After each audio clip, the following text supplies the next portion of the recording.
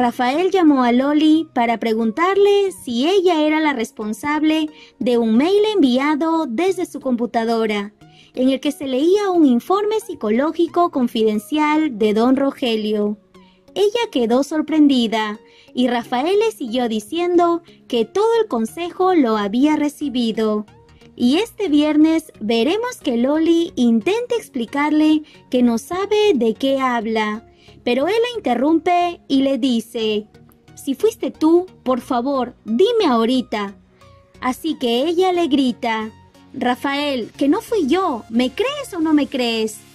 Vemos que ella se empieza a molestar pues siente que Rafael no confía en ella. Ambos se incomodan y cuelgan. Otras personas empiezan a llamar a Loli, entre ellas Matías y Rox, quien le dice, Dolores Aguilar, júrame por tu madre que tú no mandaste ese correo. Loli intenta explicarle que ella no fue. Don Rogelio escucha al aliado de Vicente, quien le dice, Loli se está vengando porque no la reconociste como tu hija, Rogelio. Y don Rogelio empieza a creer que Loli realmente lo odia.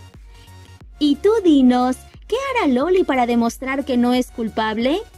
¿Se descubrirá que fue Bruno el responsable del mail? Déjanos tu comentario y suscríbete al canal.